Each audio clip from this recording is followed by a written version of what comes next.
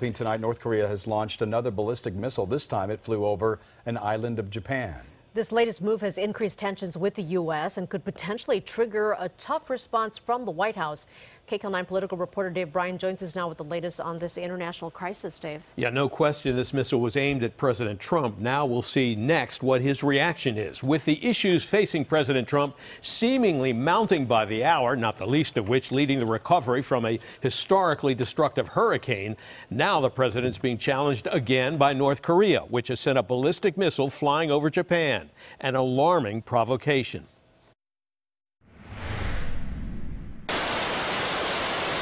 Pushing the envelope at a perilous time once again, North Korea tonight has launched another ballistic missile, this time over northern Japan apparently responding to U.S. South Korea military training exercises in the region, as well as warnings from President Trump and new tougher United Nations and U.S. sanctions. The North Koreans fired off three short range missiles on Saturday, and now, for the second time in four days, another missile took off near Pyongyang. But this is believed to be the first time since 2009 that a North Korean missile has actually flown over Japan. In this case, it was over the northern Japan island of Hokkaido before splashing into the Pacific Ocean, which CBS News Pentagon correspondent David Martin says is significant.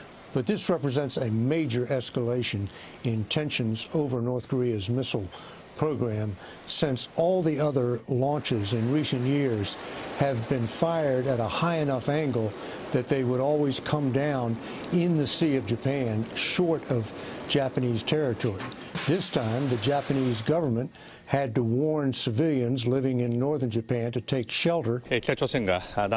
Japanese Prime Minister Shinzo Abe said North Korea has launched a missile. It's likely that it has flown over our country. We'll immediately gather information and analyze it and take all possible measures to ensure people's safety. On Sunday, Secretary of State Rex Tillerson said the U.S. will continue to pressure North Korean leader Kim Jong un with tougher sanctions. We continue to want the uh, Kim regime to understand there is a different path that he can choose. But that may be cold comfort to the Japanese, whose country has been non combative since World War II, but is now facing an imminent danger off their shores. Just this past weekend, Japanese forces conducted military drills in the shadow of Mount Fuji. And now, Japan's chief cabinet secretary declared on Tuesday that the North Korean missile flyover is an unprecedented, serious, and grave threat to the country.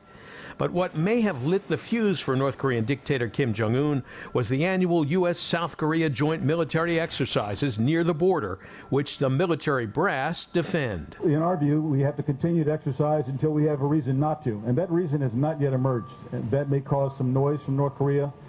Uh, that's what we routinely expect, uh, but it doesn't stop us in our resolve to be as ready as possible as we mentioned, the North Korean missile landed in the Pacific Ocean. It was more than 700 miles to the east of Japan. Now, a Japanese TV news network reportedly showed Patriot missiles lined up in Japan and ready to shoot down an incoming missile. But they were not fired, apparently because the North Korean missile was not on a projectile to actually strike Japan. Jeff Lina, back to you.